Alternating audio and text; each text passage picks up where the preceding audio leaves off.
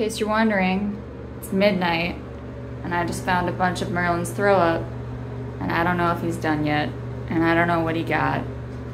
And everyone had to be in here in a show of solidarity or jealousness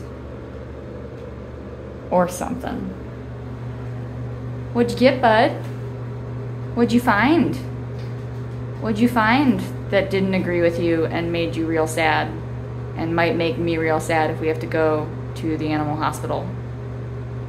Hmm? What'd you get? Just couldn't let Pandorian go to the vet in peace, huh? Get all the attention. Hi, buddy. I know. Not the night I wanted for us either. Kestrel? What'd he get? Rat him out rat him out.